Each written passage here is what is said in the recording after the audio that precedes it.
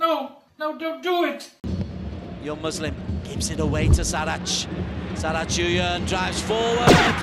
Oh, and it's poked home. Hint of handball, not given. The slip unfortunate. The toe poke into the corner. And he tells his grandkids this is going to be a 30 yard bullet instead of a scrape of the studs.